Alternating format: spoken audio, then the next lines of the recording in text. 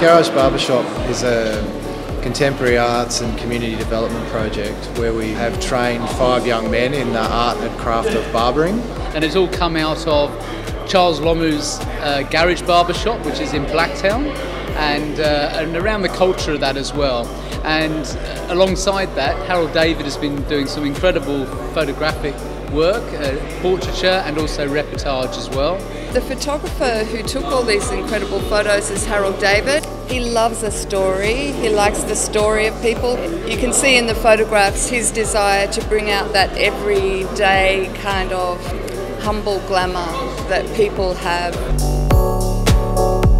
Right now it's like very daunting because there's an audience and it's so noisy. But it's really cool because it's like part of an exhibition. I feel like an art piece. So I'm just hitting with a low fade that it normally comes in for now. So that's what he likes, so I want to do what he likes. Barbering is consisted of five C's. There's commitment, communication, customer service, consistency and cleanliness. Charles Lamu has done a, a, fabulous job of grabbing five people, training them through, just to see the, the pride in their family uh, coming down for the graduation service. It's actually showing uh, giving uh, young men an opportunity to change their lives. We focused on utilising barbering as an alternative educational tool for these young men to be able to learn how to grow and mature and develop uh, qualities that would help them become responsible men in, in, this in the community. It's been amazing. It's been really amazing. It's been rewarding, um, and I think it's it feels really purposeful to see where they are now from where we started.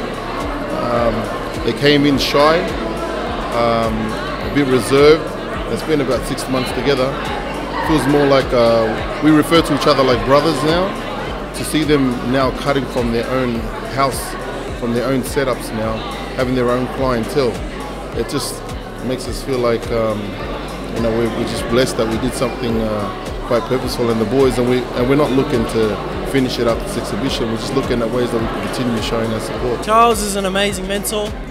Like one day if I could do what he done, man, it's like hard to do what he done. It's something he's been wanting to do for some time, and um, he's improved over the weeks, and his confidence in himself.